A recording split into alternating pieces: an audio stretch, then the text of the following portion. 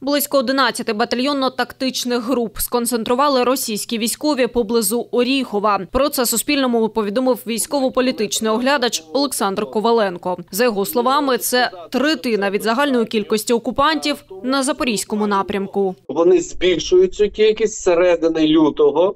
Вони збільшують загальну кількість. Вони їм можуть ще збільшити десь приблизно на 6-7 батальйонно-тактичних груп, тобто довести до рівня 18, можливо, навіть 20.